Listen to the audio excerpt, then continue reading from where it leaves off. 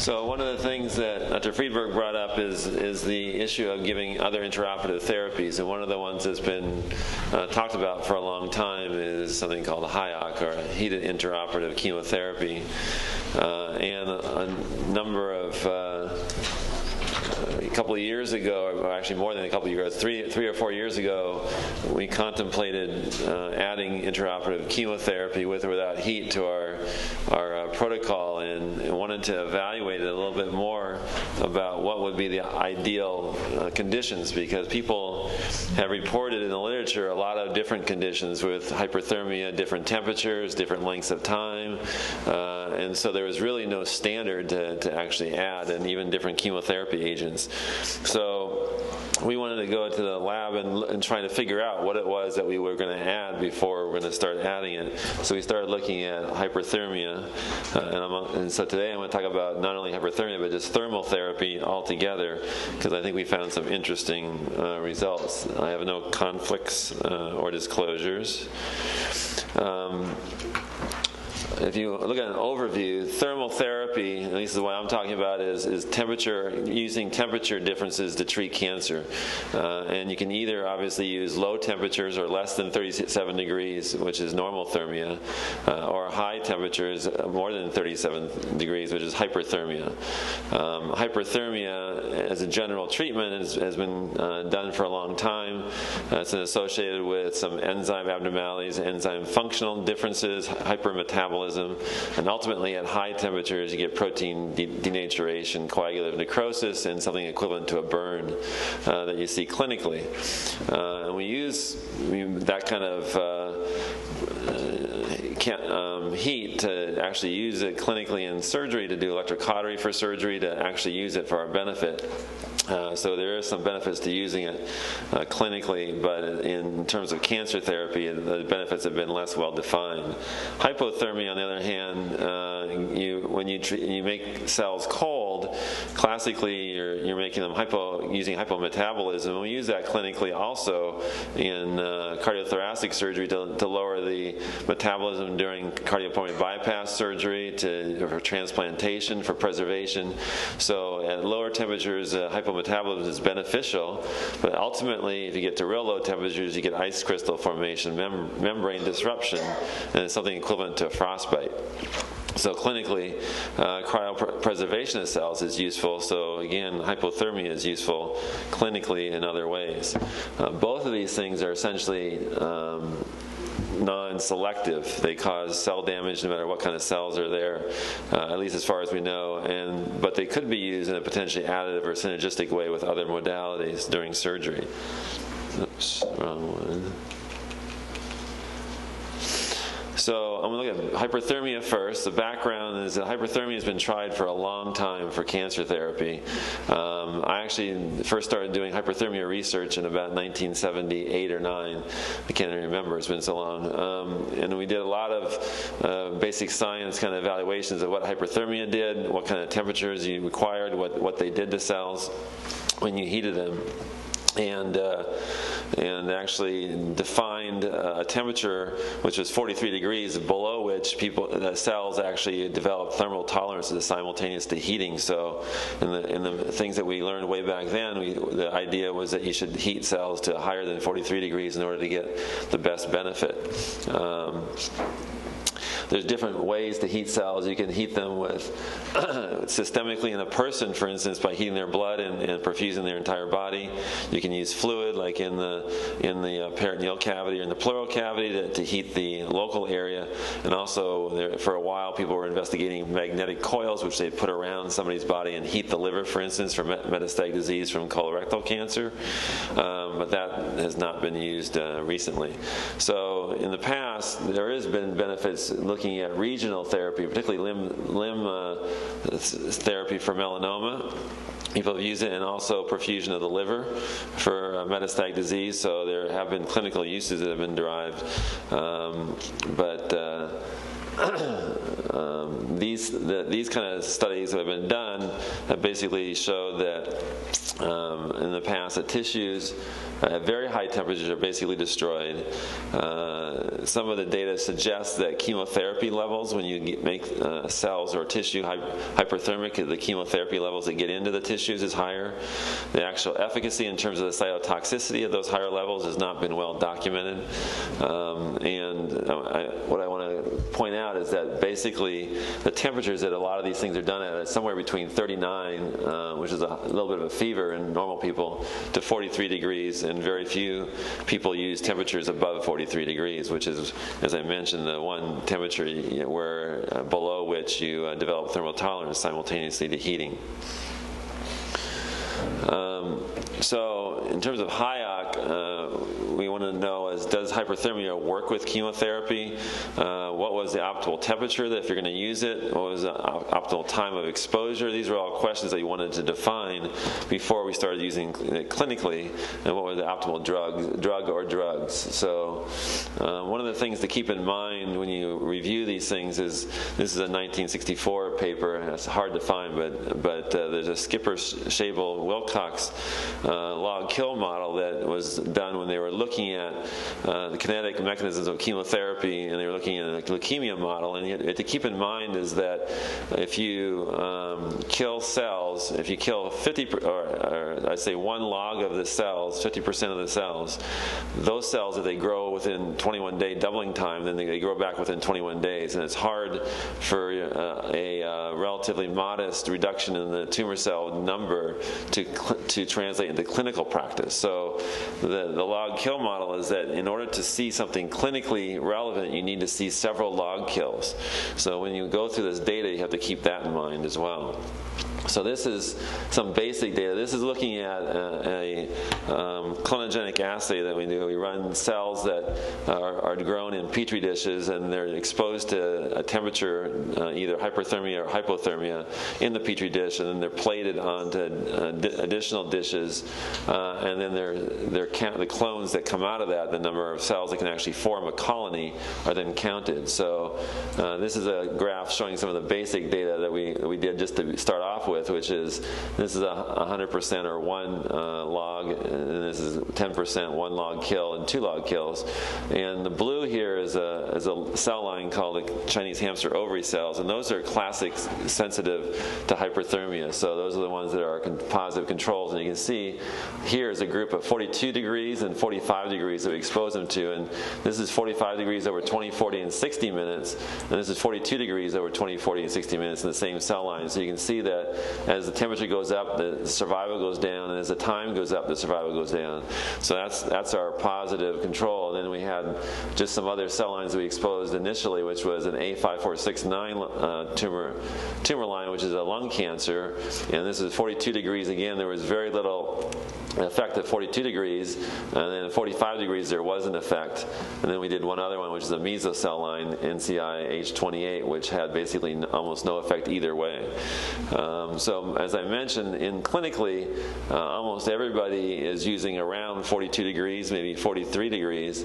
So when you look at this, this is the, what the clinical temperatures that are being used, at least in the perfusion models in in uh, in uh, clinical practice, and 45 is is way beyond what people have been using. So then we just started looking at 42 degrees or, as an example to see if we could um, play around with the conditions to see if we can get some benefit. And so this is a bunch of different cell lines and all exposed to 42 degrees for 20, 40, or 60 minutes. You can see this is again the CHO cells, the Chinese hamster ovary cells, which did show an effect. Uh, and there's MRC5 or lung fibroblast line that also showed an effect from the heat. This is just heat alone. But you can see here all the other cell lines, the A549, as well as three mesocell lines, show basically no effect from hyperthermia. Uh, and this is again an isolation in a petri dish, so there's there are some differences between this and in vivo. Um, so then we looked at adding cisplatin alone, which is something that people have been talking about a lot. So we added cisplatin to this this whole uh, mix, and here is a dose of cisplatin going from zero up to four micrograms per ml which is equivalent to the uh, serum level in a, in a high dose cisplatin, the dose in, in, a human. And basically, we showed that with the increasing dose of cisplatin, the, the survival goes down. Uh, and going across here is, uh, is hyperthermia at 42 degrees for, again, 20, 0, 20, 40, and 60 minutes. And you can see, for the most part, the hyperthermia doesn't really change anything. So the cisplatin does work, but hyperthermia doesn't really do much. So then we started adding other things, the cisplatin and pemetrexed, uh, which is a, obviously the standard that people have talked about for chemo for uh, mesothelioma, and we looked at the same kind of thing. Uh, and this is actually no chemotherapy control. This is cisplatin alone, and then this is the combination with higher doses of pemetrexed. And you can see again that the chemotherapy does work. It drops the, the survival down to relatively low levels. Um, this is actually 100% versus versus 0%. Uh, so you can see that this is still only dropping down the cells to maybe 80% of, of the control groups. And, and again, in a log kill model, that's not exactly very impressive. But there is, there is a little bit of effect uh, of the heat. You can see particularly when you get to the highest doses of uh, chemotherapy. So there is maybe uh, a slight effect. Um, this is, sorry, I forgot to mention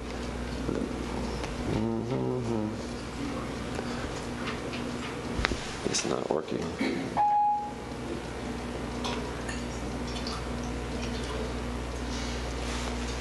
Uh, there it goes. Okay, so this is another mesocell line, which is basically showed pretty much the same thing. At highest doses, there's a reasonable effect, but a lot of the hyperthermia effect is not is really not there. Um, so we looked at all these, and we published this just recently in February in the JTCVS, and we basically concluded that hyperthermia alone has very little effect on mesothelmic growth, at least in vitro in that mesothelioma doesn't appear to be a particularly heat-sensitive tumor, which was originally reported back in 1988 uh, from the lab that actually I worked in. There was some very minimal data that suggested that mesothelioma was more sensitive to other tumors like melanoma, but it's really not a heat-sensitive tumor. And chemotherapy does produce additive effects with hyperthermia, but the multiple agents and really high temperatures like 45 degrees are really needed before you get clinically, probably clinically relevant uh, levels. Um, so as part of this thing, we also were, for a variety of reasons, interested in hypothermia. So uh, we, were to, we were wondering whether hypothermia would work, whether what the optimal temperature, again, if we're going to expose uh, tumor cells to low temperatures, and the same kind of questions. So we went down. This is showing the same Chinese hamster ovary cells, uh, and there, this is uh, 4 degrees, these are 10, 10, degrees, and this is 20 degrees. So we lowered down the temperature slightly, uh, and you can see that for 20, 40, and 60, 20, 40, and 60, 24, and 60, that increasing uh, times at lower temperatures did lower, lower the viability slightly, but it's still at probably clinically irrelevant levels. Um, and uh, here you can see that uh, we kind of compared to what the data was from the hyperthermia, and this is the 45 degrees. So this is really all the levels of change are the same except for at 45 degrees, which is the only one that produces significant levels of change. And this is the A549 cells, the lung cancer cells, same thing. Basically, no effect from lowering the temperatures a little bit, but again, with the hyperthermia at 45, uh, that's what it looked like you needed. Here's the meso, MSTO 211H which again only at 45 degrees drop down at all. So uh, looking at all these, it really didn't seem like there was going to be much effect from any of the, any of the thermal therapy at all. Uh, but then when we took it one step further and we actually exposed the cells to freezing temperatures, so below zero. Uh, and when we did that, we dropped the cell survival dropped down dramatically. So when you looked at this, this was uh, uh, minus 80 degrees. So we basically put the cells into a, a freezer uh, and exposed them for brief periods of time. This is really um, for one these are one, three, and five minutes. So if you look at this, and one is one exposure, two exposures, and three exposures. So we did three cycles because that's what people are doing clinically with um, cryoablation.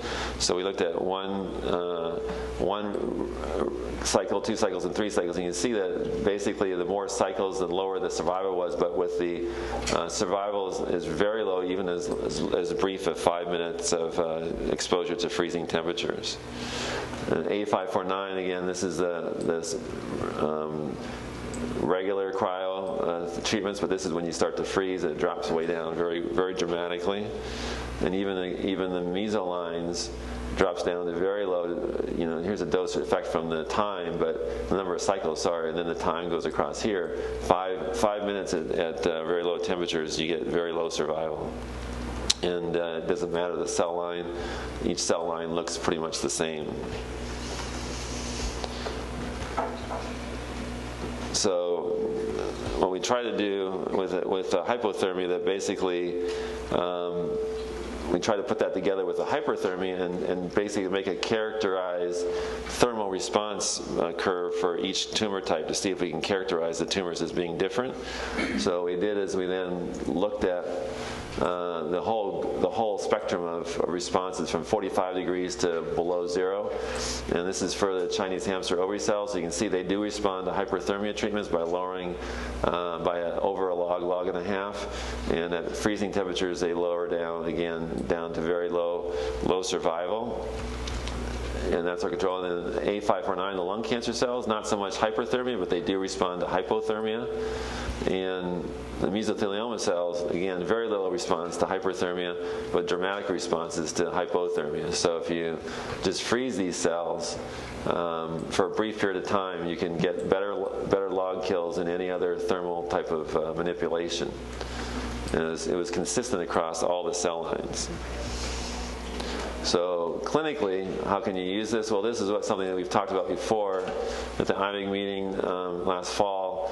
Uh, we've used this clinically to, to actually treat localized recurrences. So here is a little recurrence after a pleurectomy of a chest wall in the chest wall of a localized area of tumor that was painful. Uh, you can see it on the PET scan, uh, and then here is a needle.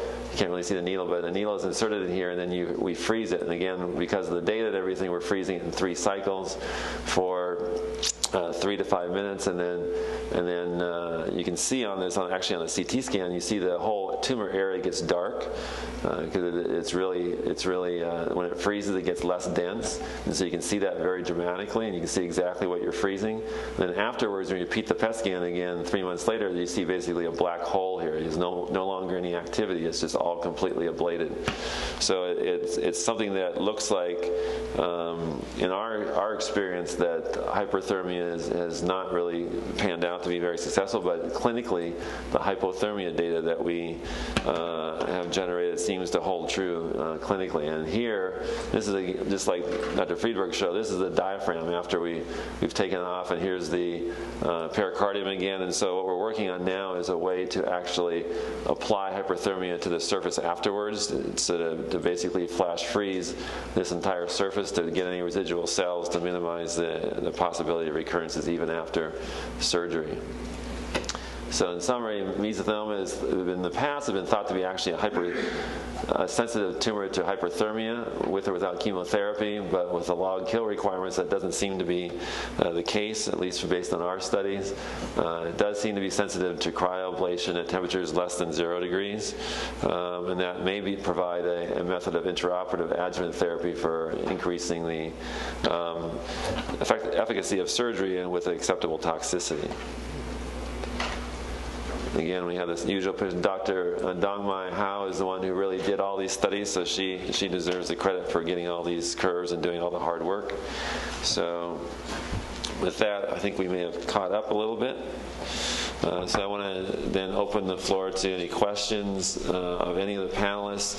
If we can use, there's a, a, microphone, so if you can use the microphone if you